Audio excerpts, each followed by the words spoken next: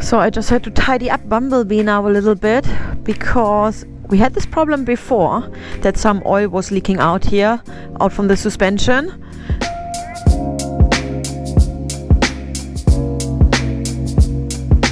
I saw that there was a lot of like dust and mud so I just cleaned it up and tonight we will see if it helped a little bit we can see that here are some stains from the oil. Come on Bumblebee 6,000 miles more.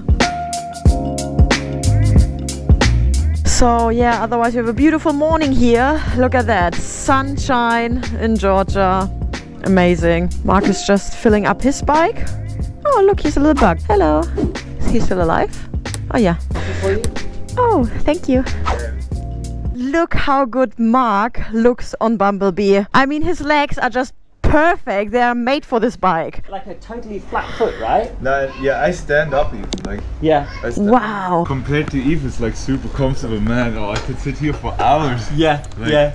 Man, and the seating position is nice. guys do you think we have to do a bike switch Does it come in electric?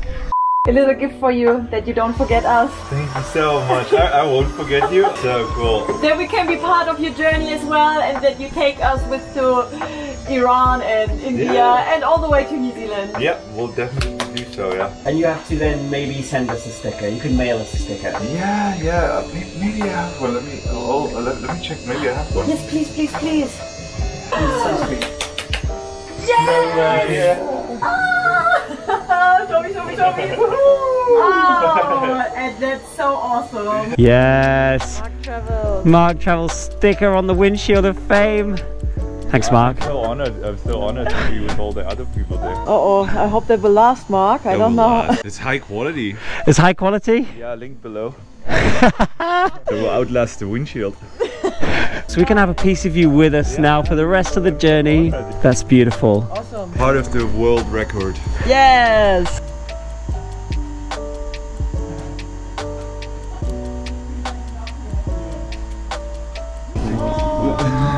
we have to say goodbye. It was so nice. Yeah, no, thank you for hang out with you. company. Yeah, I really enjoyed it. I feel so much better today than I felt three days ago. Let us know how you get on with the Iranian visa. Yeah. Some news, let us know. But by the time you guys will see this episode, Marc is going to be a lot further than he is now. so when you head to his channel, which you have to do, you'll see how far he's got from here. And hopefully it will be really far and not in prison in Iran. It will be a good video. A good video and a bad experience. Gute Reise! Gute Reise!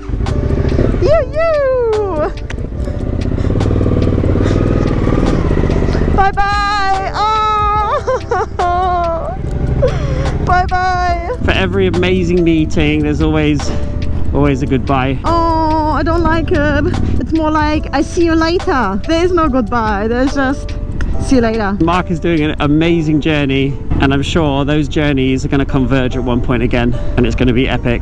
Yeah, we had a really great time, and you know he's from Germany as well, so just uh, talking German as well is so cool. It was nice. It was nice. Yeah, it gave me a bit of a break.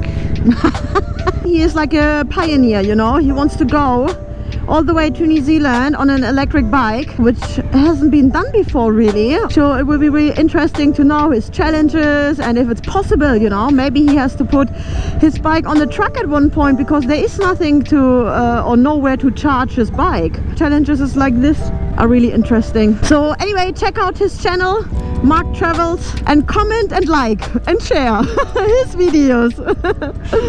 Good morning guys, welcome back to our Guinness World Record attempt to become the youngest pair to circumnavigate the globe by motorcycle. We're here in the capital of Georgia, Tbilisi, and the sun has come out just for us to start a new epic riding day here in Georgia. So let me show you guys where we're heading today. So we are here and today we're going to be heading on this road northwest out of the city to visit first the rock carved caved citadel of Uplistsikhe and then hopefully if we'll have time we'll also be visiting the cave city of Vardzia somewhere around here.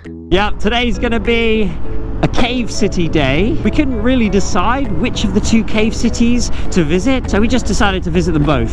Yeah, we will try to squeeze them in today. But it's actually really interesting because when I was researching it, I found out that despite the fact that they seem like they're the same thing, one of the cave cities is actually much, much older than the other. So one of the cave cities is from the Middle Ages, which is the second one we're going to be visiting, but the first one we're going to be visiting is actually all the way back from the Iron Age. So two places that seem quite similar but have very, very different histories. Google Maps says it will take us one and a half hours to reach our first point of interest.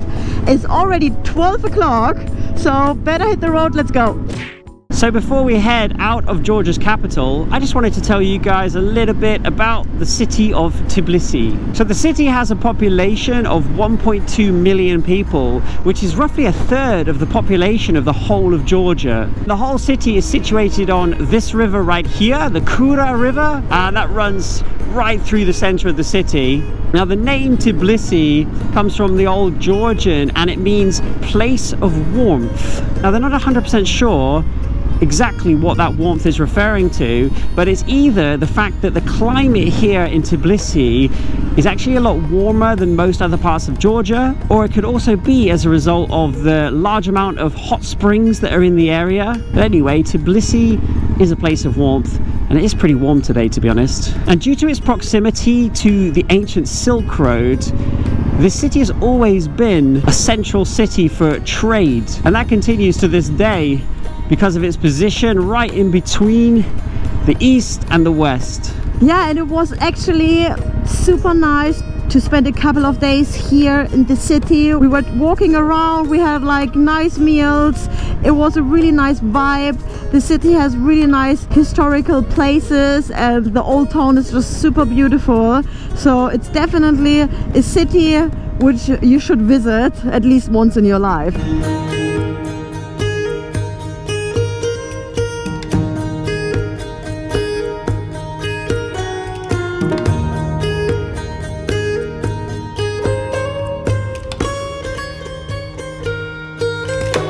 We just stopped here on the side of the road just to drink something. That's Ollie. What is really cool here, I never saw anything like it. Like the cemeteries here in Georgia, they're different. They have all a bench here, like a bench and a table for, I guess, like family members to chill out with them, you know? It's so cool and it's not the only one. Like every single grave has like a little bit of a seating area. I thought that's really nice.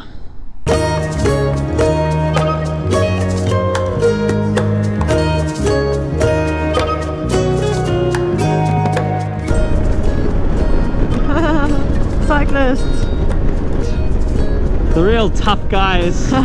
the real deal. Yeah, the real warriors. Nice, look at this view.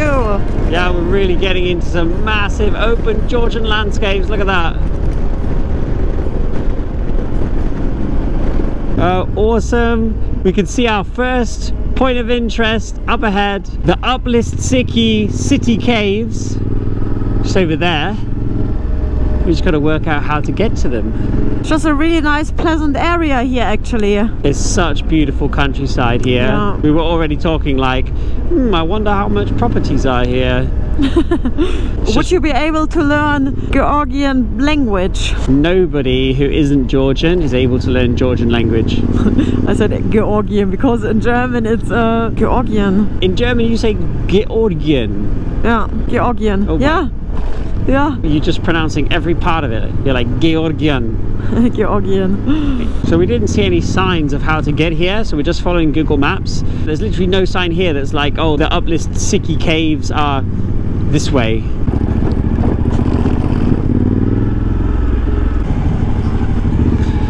Oh, look at this abandoned building here. Yeah.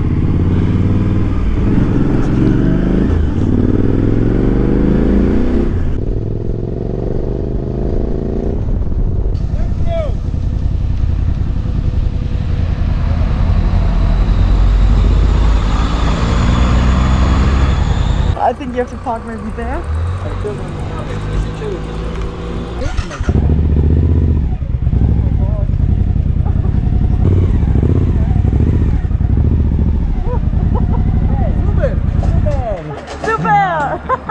So this one, natural pomegranate juice. Yeah. Let's try.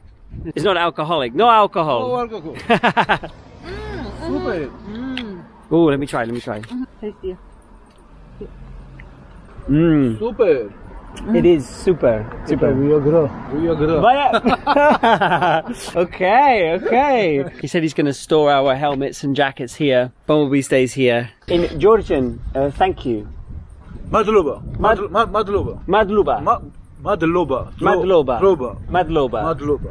Mado, madlob, Madluba. madloba. Oh, Madlobla.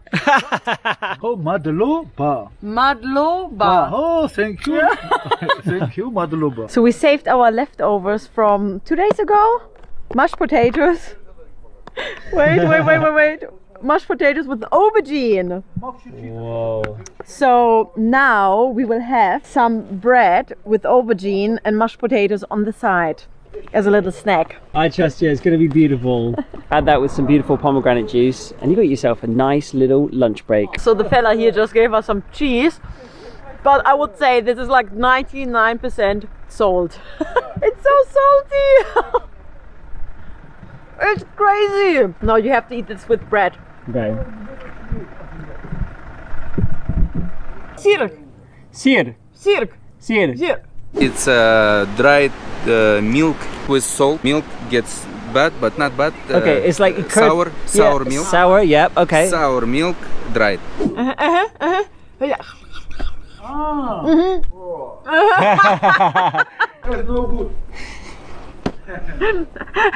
Sorry, Andre. The fella here doesn't think that this tastes very good. We're going to leave Bumblebee in the capable hands of Zaha here, and uh, we're going to go and check out some caves. Thank you, Madloba. Madluba, thank you.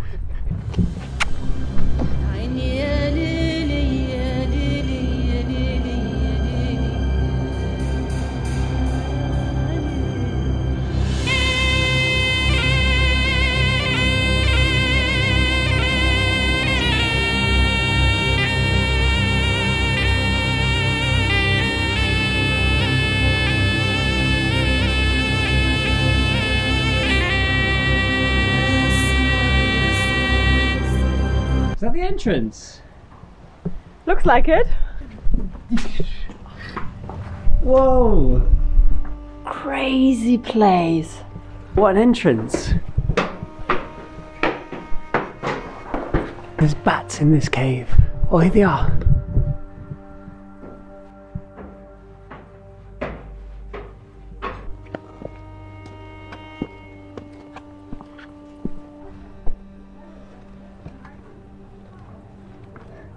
So we have made it up to the ancient rock-cut city of Uplistsikhe, or the Lord's Fortress. This site is one of the oldest urban areas in the Caucasus. There's evidence that this area has been inhabited since the third millennium BC, so a very, very old apartment block. This is a city with a massive and rich history. I think a renovation is needed.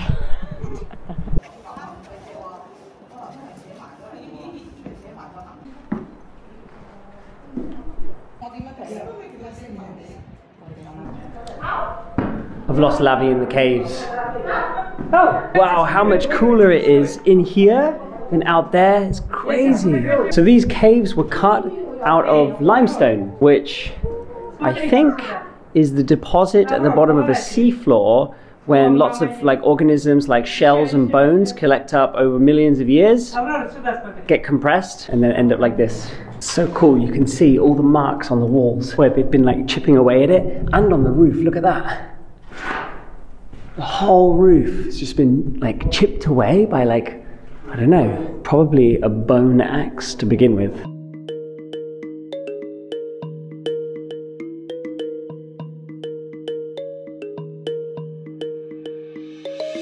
Brilliant. Absolutely brilliant.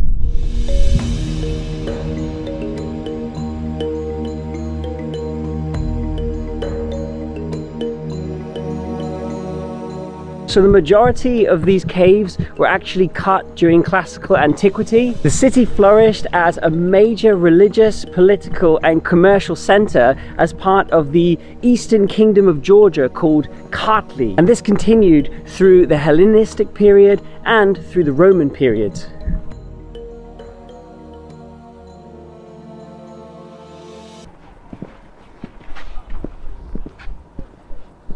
We're just chilling in the cave. as people have done for at least 5,000 years. Right here, 3000 BC, people were probably just had a bit of a fire going in the middle here, just looking out at the view, just chilling, maybe eating some deer meat. Yeah, but check out their view. I mean, this is like a five star view. That is some prime Iron Age real estate. I tell you. Not bad.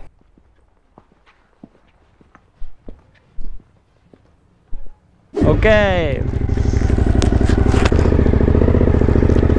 So there you go, the ancient cave city of Uplistsikhe. Yeah, it was really mind blowing actually. Absolutely incredible sight. And that you can walk around literally everywhere and, you know, check out the rooms and sit in the cave. so cool. And the fact that people have been there, walking around, doing their thing, living there for such a long time, thousands of years. So cool. So, but now we are a little bit tight on time because the sunset here in Georgia is actually quite early. It's like at 7.15 and we are supposed to arrive at our next destination at 6.50. so that gives us like 25 minutes to appreciate our second ancient cave site, which is called Vardzia, and the GPS says it's going to take us two hours and 15 minutes. But anyway, we've got some beautiful mountain roads to ride here in Georgia this afternoon, so let's do it. Let's enjoy the ride, hey? And I have to try to remember Madloba, our first Georgian word meaning thank you.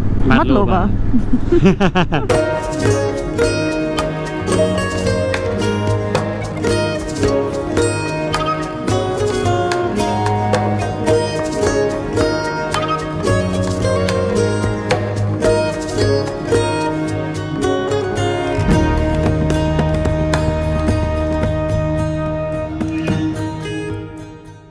Wow, this is such a busy road here and it's also not very nice because they have a lot of construction going on here. I thought I got a nice scenic route for this evening, but I don't. Yeah, it looks like they're building a new big, big, massive highway through here, which makes sense because there's a lot of traffic on this road. So I think a highway would be pretty useful, to be honest. There's a lot of also really aggressive driving going on, like people really going for the overtakes. Yeah. Yeah, pretty dangerous road actually. Whoa. Tons of pottery. Careful, careful.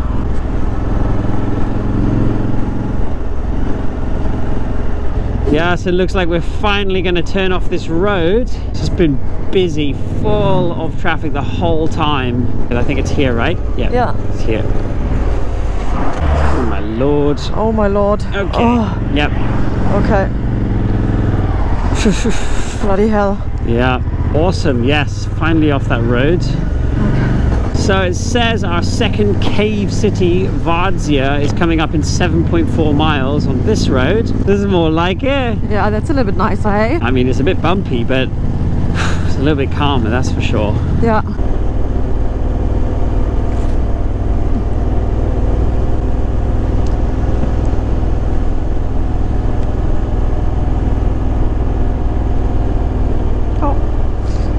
Oh, he's got a rope.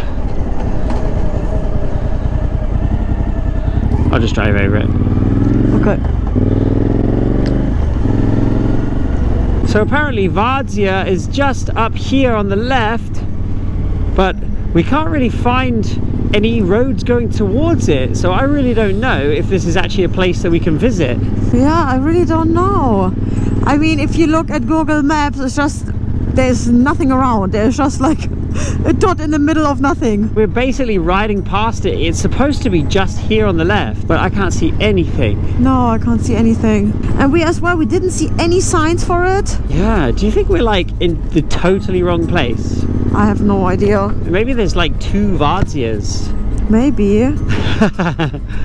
That would be pretty crazy. Anyway, we'll continue down this road for a little bit longer. On my map it's showing that we're circling around Vardzia now. So strange. Yeah. I don't think that Google Maps is right. The thing is, is that in the pictures, these Uh-huh. cave rock houses are in like a, aren't they in like more of a deserty type area? I really don't know. I really don't know. Okay. Well, so far at least, these are just small unpaved sections. I think there might be two Vardzias and people are just logging it in the wrong place. Normally there must be like cliffs somewhere, but I didn't see any cliffs as well.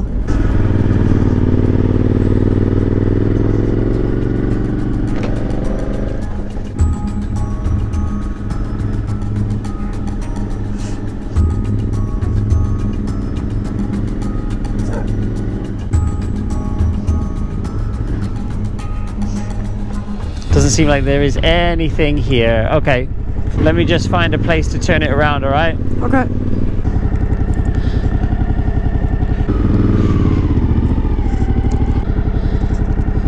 Okay guys, I just looked at the map here and it turns out that we're at the wrong Vardzia. So here, four and a half hours to the south is the actual cave city of Vardzia and where we are now is the tiny village of Vardzia that people have mistakenly tagged pictures of the other Vardzia. So yeah, basically we're just in a small village in the middle of nowhere very far away from an ancient cave city, which is a bit ridiculous.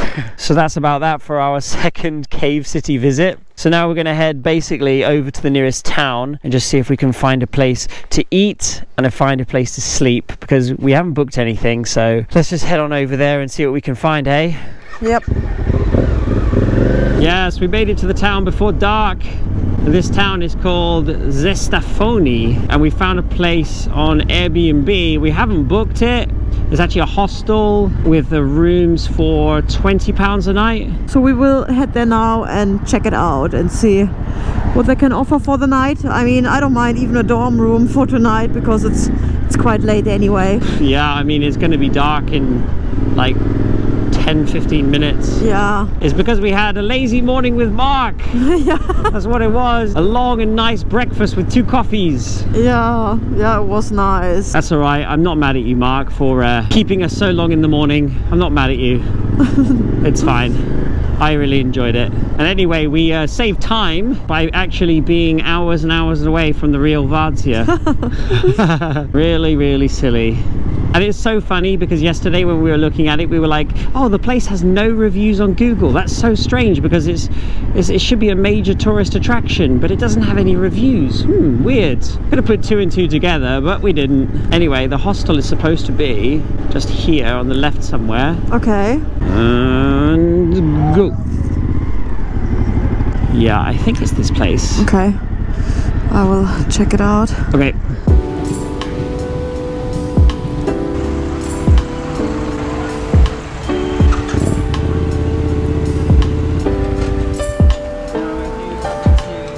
So guys, we just checked in here in this incredibly cool room.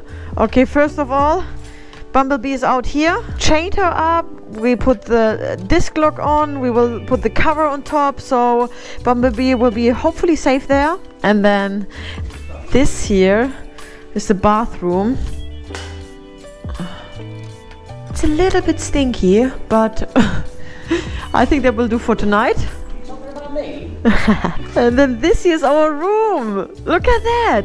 There's like a double bed here, a single bed there.